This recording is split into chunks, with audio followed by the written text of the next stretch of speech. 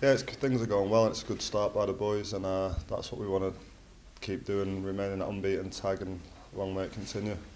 Yeah, another goal for you on Saturday as well. Five in seven starts now, showing no signs of slowing down. Yeah, no, things are going well, and uh, putting on good performances with the boys, and yeah, I'm happy to be scoring. And like I say, the unbeaten run's still there. I'm scoring, things are going well, and hopefully we can keep it going. Another unique celebration as well. Tell us about that one. Yeah, the manager was giving uh, Luke Freeman a bit of stick on Thursday and Friday for not getting the corners right in training. And he did about four or five wrong on the run, so the gaffer ended up sitting down and saying it's going to be a long day. We'll stay here all day till you get it right. So we just thought we'd give Luke a bit of stick if we got a goal and do the celebration. So yeah, he took it in good jest, so did the manager.